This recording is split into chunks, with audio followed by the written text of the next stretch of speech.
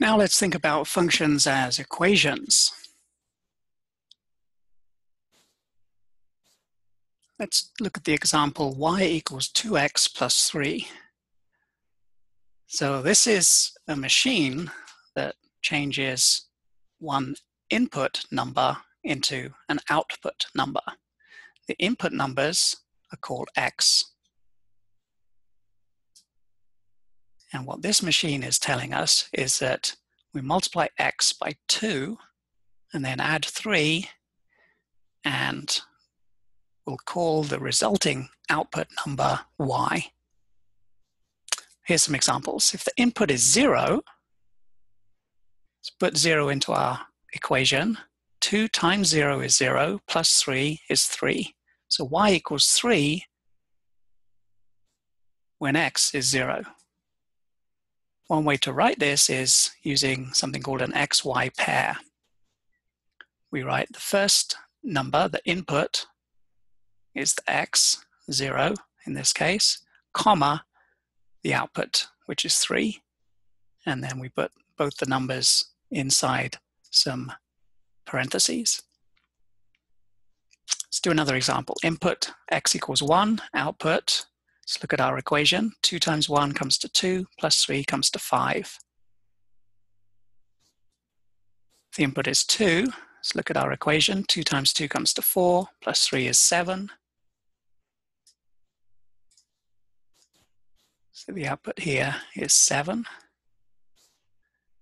And also in our xy pair, 7. Let's go the other way. Let's try and figure out what the input was when we got an output of 9. See if we can figure it out from the table.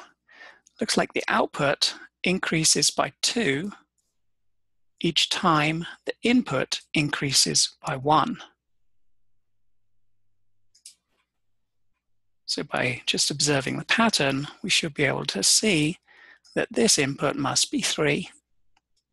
Let's check that that's correct by plugging 3 into our equation. Equation's up here. 2 times 3 comes to 6, plus 3 comes to 9. Yes, it's correct. Okay, what if we were given a table of inputs and outputs and we were told that there's a linear equation kind of the same form as this. So in other words, a number times x plus another number. Could we guess that equation just by knowing some inputs and outputs? Well, let's see if we can figure it out. We're told for an input of one, we get an output of two an input of 2, we get an output of 5. An input of 3, we get an output of 8. So each time the input goes up by 1, the output is going up by 3. This is called the slope of the linear equation. So in this case, the slope is 3. And this is the number that multiplies x in our function. You can see that up here. The 2 was how much the output increased when the input increased by 1. The answer was 2. So if I write the equation of the lower table Uh, output is going up by 3 each time the input is going up by 1. So the slope is 3. So that means in front of the x will be the number 3. How about the other number in the equation, this piece? What does that represent? Well, if I look at the input of 0, that had an output of 3. And that's what this number is. It's the output when the input is zero. Okay, let's look at our table down here. We don't have an input of zero, but we could use the pattern that we noticed before to figure out what the input should be. Sorry, the output, what the output should be when the input is zero. Okay, because we're changing by three each time. So presumably, if our input goes down to zero, our output will go down another three to minus one.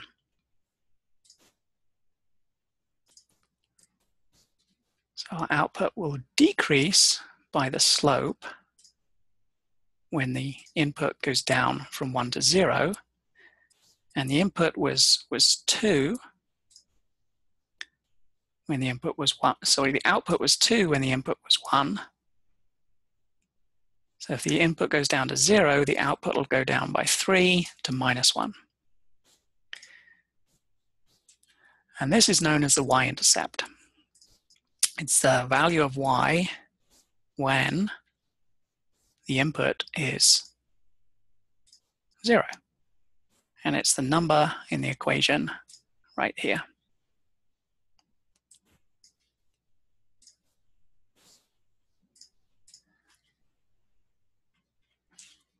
The reason I've written these xy pairs in the table is because we can represent linear functions like this on graphs.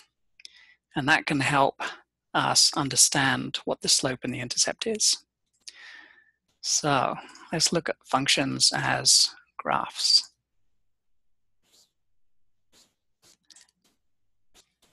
Here's the graph for the first table. So the way to construct the graph is to draw a horizontal axis, which will be the x-axis, a vertical axis, which will be the y-axis. And then for each xy pair, you find where it comes on the graph, and then you join up the points. There's going to be four points with a straight line. So when x is 0, y is 3, that's this point. When x is 1, y is 5, that's this point. X equals 2, y is 7, x equals 3, y is 9. And all those points lie along a straight line, and the equation of that line is y equals 2x plus 3. This line has a slope of 2. Each time x goes up by 1, y goes up by 2. That's the slope. And then the y-intercept is the value of y when x is 0. When x is 0, y is 3. Let's look at the second table, see what the graph looks like. So I drew this graph using Excel, which is kind of handy dandy for this kind of thing. The point 1, 2 is x equals 1, y equals 2, this one here.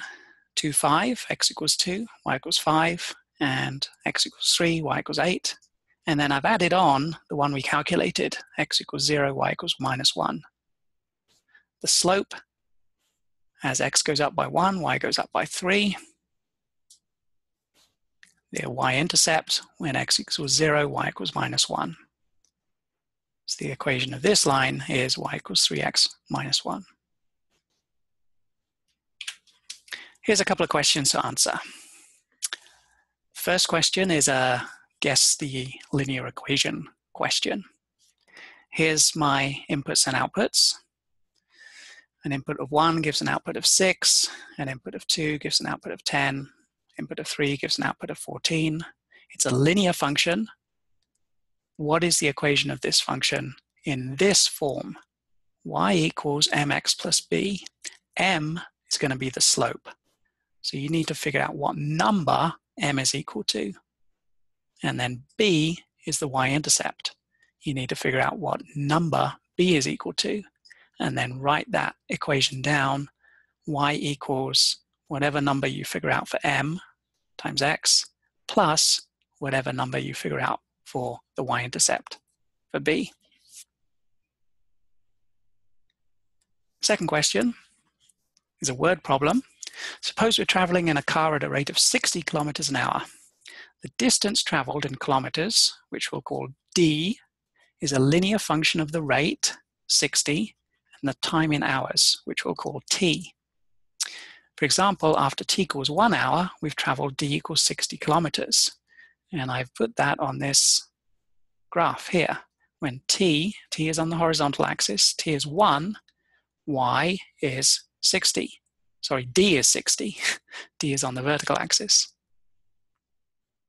After t equals 2 hours, we've traveled d equals 120 kilometers, and after t equals 3 hours, we've traveled 180 kilometers. What is the equation of this function representing this line here? It's going to have t in it, it's going to have d in it, and it's going to have one or two numbers.